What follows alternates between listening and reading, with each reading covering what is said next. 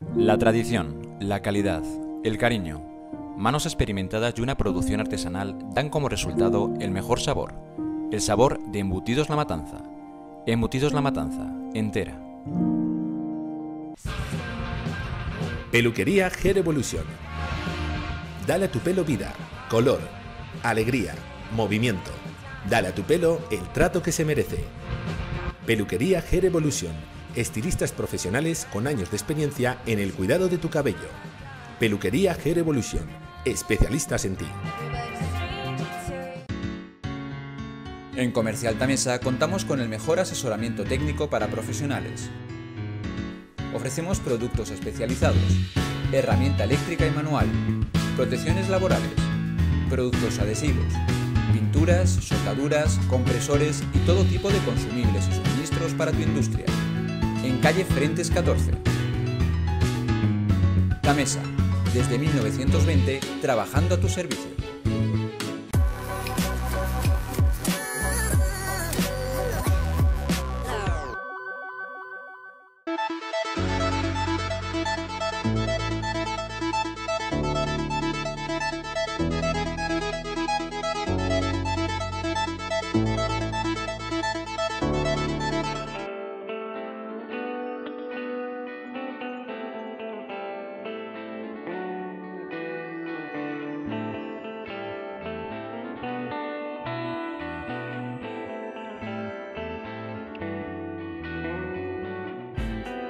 Gómara despide su sexta edición del ciclo de conferencias Francisco López de Gómara y lo hace con una conferencia a cargo de Elena Eras.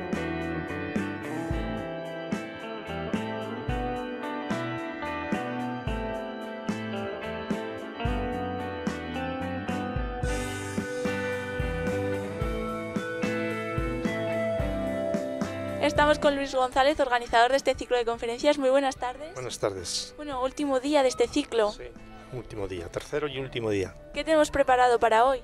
Pues hoy tenemos una conferencia de, a cargo de Elena Eras Fernández, que es la arqueóloga territorial de la Junta de Castilla y León en Soria, y que va a tratar de, bueno, se titula El paisaje, o la huella del paisaje, eh, sencillamente. Entonces, bueno, va a tocar pues, los castros, las torreones, eh, esos cerros que normalmente se ven simplemente como cerros o, y que sin embargo tienen mucha historia y tienen muchas cosas escondidas, escondidas o por, por descubrir. ¿De qué conferencias han, han podido disfrutar los vecinos anteriormente, estos días de atrás? Bueno, inauguramos con Alfredo Jimeno, que es el director de las excavaciones de Numancia y profesor de la Complutense, ya sabéis. Eh, habló sobre el, agric- el origen de la agricultura y la ganadería, que es un tema muy característico en esta zona de Gómara. Eh, se quedó con el público, evidentemente. Y ayer eh, Elías Terés, director del Museo Numantino, pues nos habló también de, bueno, pues del Museo Numantino y de todas sus subsedes. Y al final llegamos a la conclusión de que habíamos estado en el Museo Numantino sin salir de Gómara, lo cual pues ya eh, creo que es denotativo de, de la altura de la conferencia. Y además mm, trajo una presentación eh, muy bonita, muy bonita. Es la sexta edición de estos ciclos, ¿cómo han ido cambiando? Pues la verdad es que hemos, a ver, genéricamente se trataba de honrar la figura de Lope de Gómara, nacido aquí en 1512, historiador, y, más que historiador, fuente, cronista de Hernán Cortés y demás. Eh, genéricamente, ya digo, se titulan o se eh, las designamos como Lope de Gómara. Tuvimos un primer año eh, dedicado a él y luego hemos ido pasando a otros temas eh, de la historia de, de la comarca. Muchas veces te tienes que salir hacia la provincia, como ocurrió, por ejemplo, en esta ocasión, porque, claro, la historia mm, hay que verla con cierta globalidad. Eh, no hemos se- seguido un orden cronológico, sino que hemos pretendido, pues bueno, mm, pasar ratos agradables y al mismo tiempo, si podíamos aprender algo que lo hemos aprendido, pues mucho mejor, ¿no? Hemos tratado el señorío de los ríos, es decir, los condes de Gómara, los señoríos genéricamente en la Edad Moderna, eh, el Santander Mediterráneo, el ferrocarril, que además coincidió con el año pasado con la famosa recogida de firmas para lo del autobús, y bueno, pues diferentes mm, diferentes aspectos, diferentes periodos de la, de la historia. Y hoy nos toca, vamos, este año ya pues era una asignatura pendiente lo que llamamos comúnmente la prehistoria. Eh, pues eh, la zona, la, la arqueología de la zona y bueno, pues estas cosas que están un poquito más escondidas y que a veces son un poquito más lejanas, pero que también tienen su interés. Trabajando ya en la séptima edición para el año que viene. Pues sí, eh, sí, quizá una de las posibilidades es ya adentrarnos en el siglo XIX. El siglo XIX porque además hay una, hay una iniciativa fantástica para, para, este año, independientemente de estas jornadas, que es una especie de, bueno, pues de, de documental, ¿no? Se llaman, sobre lo que era Gómara en los años 60, 70, es decir, en el siglo XX y, bueno, quizá como complemento y como, más que como complemento, como punto de partida sería interesante ver el arranque de lo que fue Gómara, que es al final eh, y a la postre, pues las dos últimas décadas del siglo XIX y cómo se globaliza la, la, la historia como consecuencia de la guerra de Crimea. Pues muchas gracias Luis, te dejamos con esa conferencia ya. Gracias, gracias.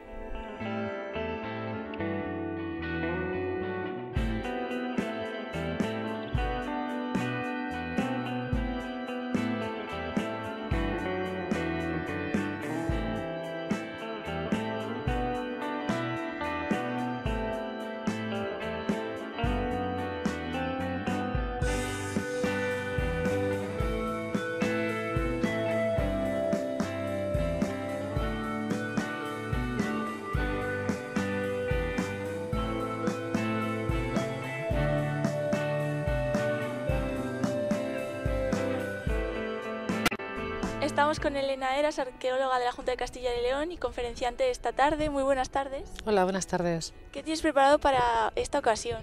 Eh, bueno, mi charla eh, es sobre las huellas del paisaje en lo que es la zona del campo de Gómara, las huellas del pasado. Eh, los restos arqueológicos y restos históricos que hay que, que se hacen presentes en el paisaje actual.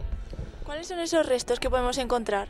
Eh, bueno, yo lo que voy a tratar de hacer es un recorrido pues desde la, desde la época prehistórica hasta la época medieval. Entonces yo creo que eh, lo más reseñable en el campo de Gómara yo creo que es sobre todo toda la ocupación que hay en la época romana y luego toda la ocupación medieval. ¿Es tu primera vez en este ciclo de conferencias? Eh, sí, sí es la primera vez que me, que me han invitado. ¿Has podido estar en las charlas anteriores de estos días pasados? No, no, no, no, por motivos de trabajo no he podido. Me han dicho que han estado muy bien, pero no, no, las, no he podido asistir. Mucha gente la que está esperando ya para poder entrar y disfrutar de tu conferencia. Bueno, pues estupendo, espero que no les defraudemos. ¿Cómo se prepara una conferencia como esta? Eh, bueno, en mi caso ha sido un poco laborioso porque eh, realmente he tenido que recopilar un poco la información pues desde la carta arqueológica que hizo María Jesús Borobio en los años 80 hasta incorporando toda la información que tenemos de, bueno, de estos últimos 20 años a través de los, datos que tenemos en el inventario arqueológico provincial, las intervenciones que se han hecho en la zona, la bibliografía nueva que se ha publicado, bueno, pues he tenido un poco que, que ponerme al día en todas estas cosas. Mucho trabajo de documentación el que hay detrás por lo que vemos. Sí, sí, siempre en estas cosas hay trabajo de documentación, porque bueno, es una zona extensa y no hay demasiados, eh, demasiados elementos, pero bueno, hay que poner un poco, estudiar un poco la evolución ¿no? a, a, a lo largo de la historia de todas, de todas esas etapas culturales. Pues muchísimas gracias, Elena, y te dejamos prepararte ya para esa conferencia. Pues nada, gracias a vosotras.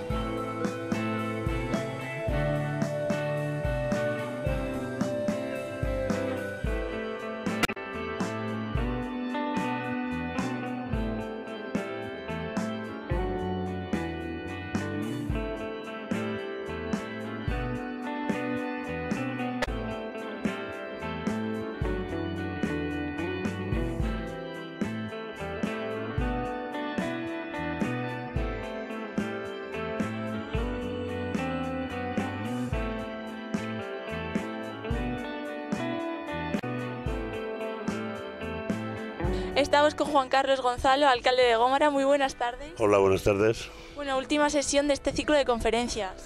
Pues sí, última sesión de este ciclo de conferencias, que es el sexto, Francisco López de Gómara. Arrancamos en el 2012 y bueno, pues eh, el éxito otro año más ha sido importante, ¿no? ¿Cómo ha ido cambiando este ciclo desde sus inicios? Porque son ya seis ediciones. Vale, son seis ediciones. Arrancamos el primer año con con eh, Francisco López de Gómara en sí y bueno, pues luego hemos ido cambiando diferentes temas y bueno, la verdad que, que bueno, pues he dado una continuidad importante y la intención pues es seguir, no sé cuántos años más. Cada año, como os digo, ha sido un tema diferente, pero bueno, pues eh, estamos encantados. ¿Cómo es el organizar un evento como este, en el que participa además una asociación del pueblo? Vale, esto lo coorganiza y lo copatrocina el Ayuntamiento con la Asociación Cultural Acerca de Gómara, a la cual aprovecho el momento para pues digamos agradecerle no, no solo la organización de las conferencias, sino el trabajo laborioso e importante que hace durante todo el año pues para dinamizar un poco pues la vida de, de este pueblo que tanto queremos, ¿no? Entonces, bueno, pues pues desde el primer año, incluso cuando empezamos, yo era, era todavía miembro de la junta directiva de la asociación. Entonces decidimos hacerlo así y copatrocinamos y coorganizamos casi todos los eventos que se hacen en el ayuntamiento y la asociación, ¿no? Con lo cual, desde aquí mi agradecimiento, ¿no? ¿Cómo es la acogida entre los vecinos de este ciclo? Bueno, pues la acogida es importante, quiero decir, el, el salón eh, de la Mancomunidad, del edificio de la Mancomunidad, que es donde se hace siempre, eh, tenemos una capacidad como de 100, 110 eh, personas, eso aforo, y la verdad que llenamos todos los días, con lo cual eso es un poco lo que demuestra el éxito de estas conferencias, ¿no? No sé si los vecinos también nos dicen pues qué ideas tienen para el año que viene, qué les gustaría pues escuchar, aprender de ello. Bueno, eh, esto que le habéis entrevistado hace un poco, esto lo coordina un poco eh, Luis González y desde aquí también eh, mi agradecimiento, ¿no? Porque bueno, pues él es el que se ocupa de hablar con los ponentes, de buscar los temas, la verdad que es alguien que, que le gusta mucho esto y, bueno, él es el que lo hace un poco. Por parte de los vecinos, pues sí, algún vecino sí que le dice podríais hacer esto o lo otro, pero vamos, normalmente el peso de, de esto lo lleva él, ¿no? Hablábamos con él a partir de mañana trabajar en el siguiente ciclo para el año que viene. Efectivamente, yo siempre lo digo, lo, contaremos luego en la clausura también, que Luis, que es quien se encarga del tema, como os digo, a partir de, de mañana empieza a trabajar, a pensar eh, en qué va a consistir o en qué temas va a consistir el próximo ciclo, que siempre se hace sobre estas fechas de mitad de, de agosto, que obviamente es cuando hay gente en el pueblo y, y críos, como podéis ver. Eh, entonces empieza a trabajar en el tema y, y, bueno, pues a partir de octubre, noviembre ya tiene cosas claras y, y, ya se van concretando ponentes y fechas, ¿no? ¿Alguna conferencia con la que te quedes de este ciclo? ¿Cuál es la que más te ha gustado? ¿La que más has aprendido? Bueno, pues eh, quedaré mal con unos y con otros ponentes, ¿no? Me han gustado mucho las tres. Eh, la verdad que los ponentes vienen eh, casi, casi eh, altruistamente, ¿no? Entonces es de agradecer también que nos lo cuenten. Este año está basado un poco, ayer vino el primer día Alfredo Jimeno, ayer vino Elías Terés y hoy viene Elena Eras. Entonces eh, las tres, mmm, las dos anteriores han resultado muy importantes e interesantes y supongo que la de Elena hoy también. Pues muchísimas gracias Juan Carlos, te dejamos ahora disfrutar de esa última conferencia. Vale, gracias a vosotros.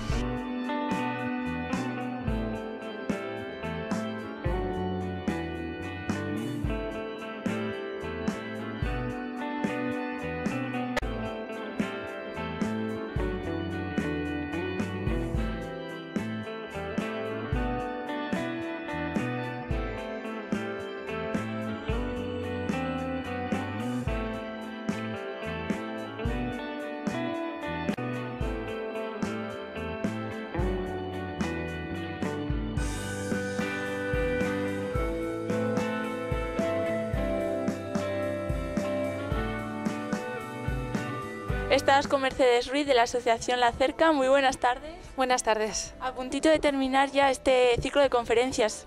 Pues sí, el sexto círculo de conferencias que, que, acogemos aquí en Gómara sobre temas históricos de la comarca y que bueno, tiene una aceptación estupenda, estamos muy contentos eh, y, y, esperamos que, que siga funcionando así de bien otros años.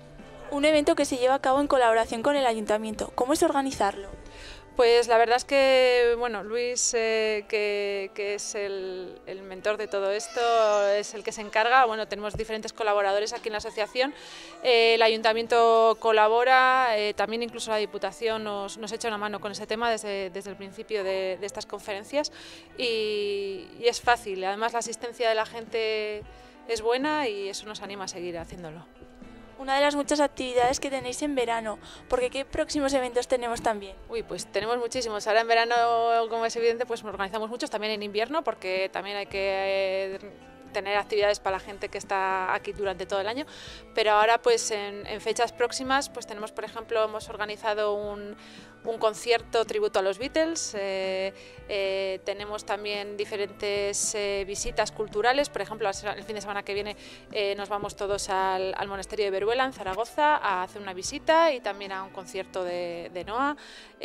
a final de agosto tenemos una visita también cultural a Toledo y bueno, pues poco a poco vamos haciendo cosas. Ya también en julio, que es yo creo cuando más actividades hemos tenido, pues teatro, eh, eh, cuentacuentos para los niños, charangas, un poquito de todo. Luego también tenemos las comidas, que yo creo que son lo que más éxito tiene, ¿no? Pues el día del socio hacemos una paella, en invierno hacemos la matanza, eh, bueno, tenemos la carne y entonces pues preparamos los chorizos, etcétera, para que también los más jóvenes vean cómo, cómo se hacía esto antaño, ¿no? Y, y mantengamos un poco un poco la tradición, pero además entre todos, lo cual es guay. De este ciclo de conferencias, ¿con cuál te, te quedas? Uf, de este año, porque jo, es que es, difícil. Bueno, la de hoy puede ser muy interesante, yo creo que, que vamos, tengo ganas de escucharla. Eh, la de ayer del Museo Numantino también fue muy ilustrativa y bueno, pues eh, jo, la primera, la verdad es que el ponente era, tenía mucha entidad y mucha calidad, entonces uf, es difícil quedarse con una, con las tres. Pues muchas gracias Mercedes, dejamos disfrutar ya de esta última. Muchas gracias a vosotras.